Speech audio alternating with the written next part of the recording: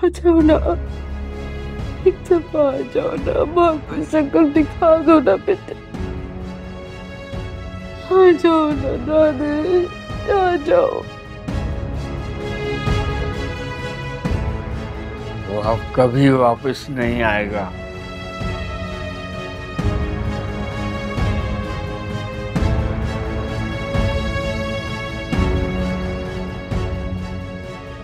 तुमने मारा है उसे। अल्लाह माफ़ करे पहले बेटा जल गया और अब मियाँ साथ छोड़ रहा है। वो लड़की नीम पागल है।